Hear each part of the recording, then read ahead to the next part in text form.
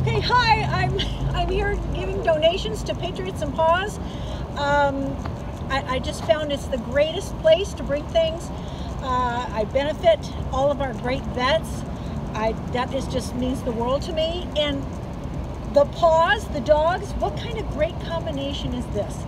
Um, I just believe in this organization, so I drive quite a ways to make the donation, but it surely is something I am really, I'm very happy to do. I'm very grateful for the vets, and I'm grateful for puppies as well. So thank you, and I'll be back with more donations. Thank you.